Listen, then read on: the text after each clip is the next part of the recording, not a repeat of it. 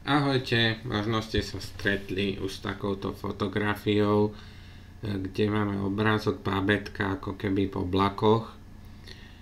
Kto nie, nevadí, pokúsite sa takúto fotografiu vytvoriť.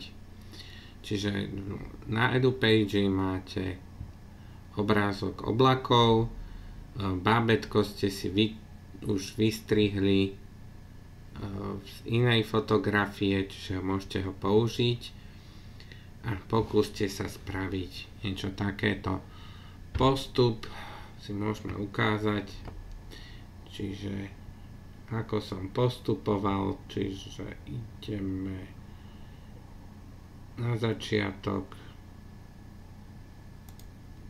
ešte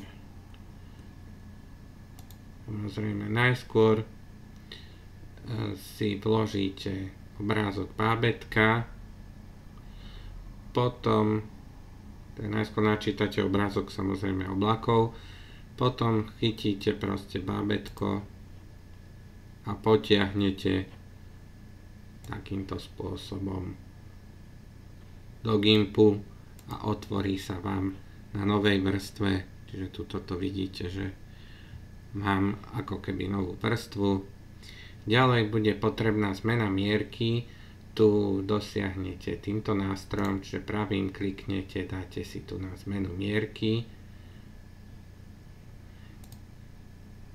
A idete ďalej, čiže zmenšíte si bábetko, posuniete si ho na príslušné miesto, čiže som hľadal, kde to bude najlepšie, čiže tak som sa rozhodol, že tu na.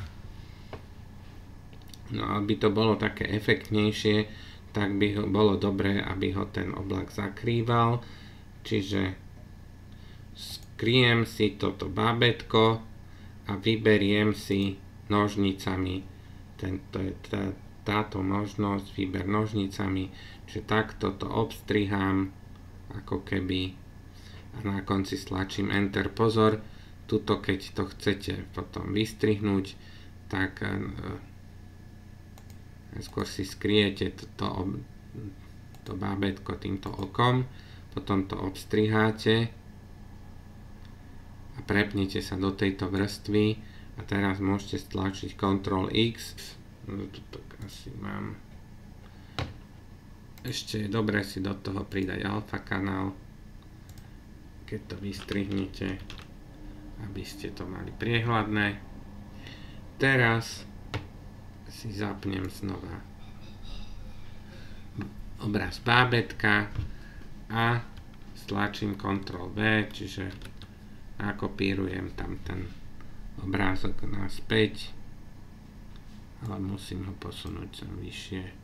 Počkajte. Idem semka túto to prilepím, že prekrie sa mi. Teraz tento vložený kúsok môžem dať do novej vrstvy, čiže dám si to do novej vrstvy a ešte to tu môžem troška e, prejsť gumou, čiže dám si nástroj guma a prejdem si to takto, aby, aby to vyzeralo tak dôveryhodnejšie.